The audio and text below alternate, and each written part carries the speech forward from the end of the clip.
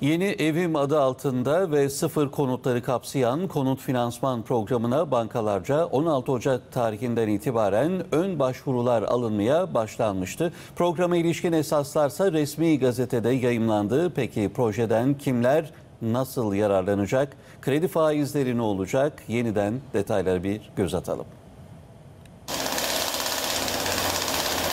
Yeni evim adı altındaki ve sıfır konutları kapsayan yeni konut finansman programına bankalarca 16 Ocak tarihinden itibaren ön başvurular alınmaya başlanmıştı. Şimdi de programın çalışma, usul ve esaslarını belirleyen karar resmi gazetede yayımlandı.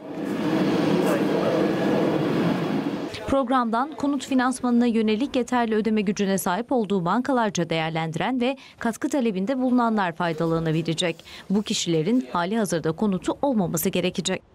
Finansman desteği bölgelere göre değişiyor. İstanbul 1. bölge, Ankara, İzmir, Bursa, Antalya, Mersin, Muğla 2. bölge, 1. ve 2. bölge dışında kalan illerse 3. bölge olarak belirlendi. Azami satış bedeli 9 milyon lira olan konut için 5 milyon liraya kadar kredi finansmanı kullanılabilecek. Azami 5 milyon lira olan bir konut içinse 3 milyon lira, 3 milyon liralık konut içinse 2 milyon liraya kadar kredi imkanı sağlanabilecek ve kredi faizleri. 2 milyon liraya kadar olan kredi için %0.69, 2 milyon lira üzerinde 4 milyon liraya kadar olan kredi için ise 0.79, 4 milyon lira üzeri 5 milyon liraya kadar olan finansman için ise %0.99 olarak uygulanacak faizler.